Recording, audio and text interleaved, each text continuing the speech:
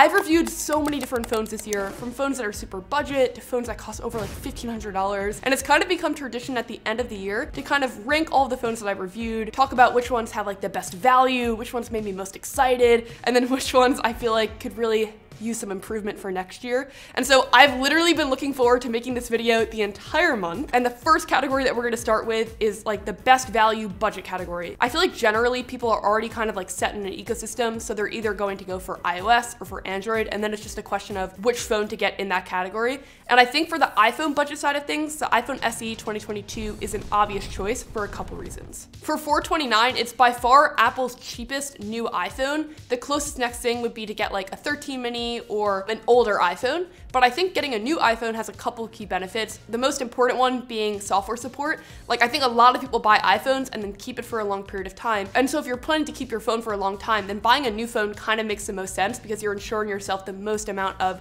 software support. I think the other things that the SE 2022 offers are either pros or cons depending on who you are. So Touch ID is still here, 4.7 inch display is still here. That's either an amazing thing, like some people are going to be stoked because they love that build, they have nostalgia for it, they feel like the physical button is just better and they want a compact phone. And for other people, that's definitely going to be a reason that they won't buy it because the display is definitely small and typing on it is a little bit of a struggle, especially if you're coming from a bigger phone. But I think in general, to get into the iOS ecosystem, the iPhone SE 2022 is a great phone with a pretty good camera. On the Android side of things, there were so many different options that I could have selected. Like Samsung has a lot of A series phones, Motorola has some offerings. Honestly, Motorola is getting like a runner up here because I feel like they came out with a lot of really strong offerings this year, like the Moto G stylus, for example. But I would say that I think that the Pixel 6a is going to win this category because it has a really great camera. Like in Marques's camera test, it ranked so highly over even like a thousand dollar flagship phones. And first place is the Pixel 6a, the people's choice camera of 2022. And it's because Google has incredible AI computational photography. So generally photos on this phone look great. And I feel like camera technology is one of the most important things that consumers actually rank for because it's one of the ways that we use our phones the most. And the other things that you also get are years of software support because it's a Pixel, so like fast software updates, and then also like a really affordable price for performance. Areas that you're gonna miss out on obviously would be like a super premium build quality. It's a nice build, but it's not a super premium build. And also you don't get like any bells or whistles features, like you don't get um, a stylus or multiple cameras in the back. Some of the features that other budget phones really optimized for. The next category that I'm like really excited about is innovative phones. And I think for this one, the obvious answers are the Samsung Fold 4 and the Flip 4. And between the two, I still like the Fold 4 better because it's more interesting. But I think that the Flip 4 really had a dynamic year this year where a lot of people were giving it attention and love that hadn't previously. And I think that's because Samsung really refined the build on it. The price came down a little bit. It became like a more enticing phone. However, I feel like if you weren't convinced on the form factor before, the updates this year weren't the reason now to get it. Like the updates weren't significant enough where now you're like, oh, I didn't think this was valuable, but now I do. Either like already were really attached to this build and like the Flip 4 form factor or you weren't. I personally think that the Fold 4 form factor is a little bit more practical because it gives you this completely new form factor. The Flip 4 is great for pocketability and not getting addicted to your phone. Like you have to be intentional with it. So I feel like I was less likely to like mindlessly scroll on it because I would have to be like, oh, I'm gonna open the phone now. Whereas my other phone, sometimes I just open up Instagram and I start scrolling and then I'm like, what am I doing? I'm wasting so much time here and I don't even realize I'm doing it. It's like habitual. On the Flip 4, that definitely helped me break that habit and it's great for like going out. But I think the Fold 4, because it offers that regular experience and then also a tablet, it's great for productivity and then it's also great for condensing what you take with you when you travel.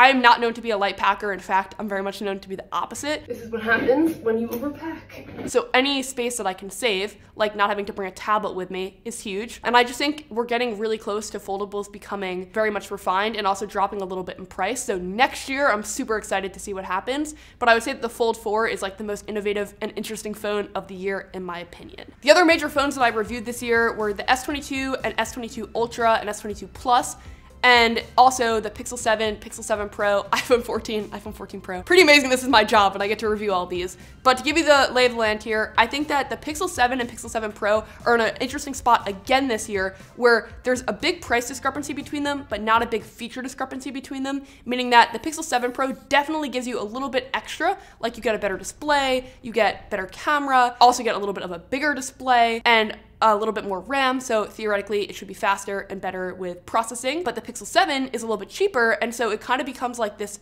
really great phone for a pretty reasonable price. Like it has a lot of the flagship features, but it doesn't have that $1,000 price tag that a lot of flagships have. And so for that reason, I tend to recommend the Pixel 7 over the 7 Pro but personally, I still use this Pixel 7 Pro because as like an enthusiast, I like all like the little extra features. But in general, I think like if we just did like value per dollar, I think that the Pixel 7 is a better phone. With S22 and S22 Ultra, there actually is a bigger difference, I think, between the two. And so the S22 Ultra to me is like for the person that wants all the bells and whistles in a smartphone, great performance, amazing camera, like tons of different focal ranges and extra features, and also an amazing display. I think that Samsung still makes the best displays on the Android side of things. Fast charging, you can now get S Pen support. It's a great phone. I think the S22 Ultra is low key one of the best phones that came out this year, but since Samsung always launches the phones earlier in the year, I feel like by the end of the year, sometimes they're forgotten by people, and they shouldn't be because it's great. The regular S22 is also a really good phone and good value, but I feel like it's in this weird price range where, like, if you look at like value per dollar, I think it's a little bit less worth it than like the S22 Ultra. With the 14 and 14 Pro and 14 Pro Max and 14 Plus actually, the Plus is great because it allows you to get that bigger phone without spending the extra money for like the Pro. And I think that Apple kind of faced a similar issue this year where the 14 and 14 Pro were like similar to the extent where like general consumers were kind of confused on which one to get. But I think that they did a really good job of making the 14 Pro and Pro Max very similar. So the only thing that you're losing when you upgrade between them is just the size. I hate when manufacturers make the bigger phone significantly better. So I'm really glad they didn't do that. Out of those four phones, personally, my daily driver is the 14 Pro. There were so many other phones that also came out this year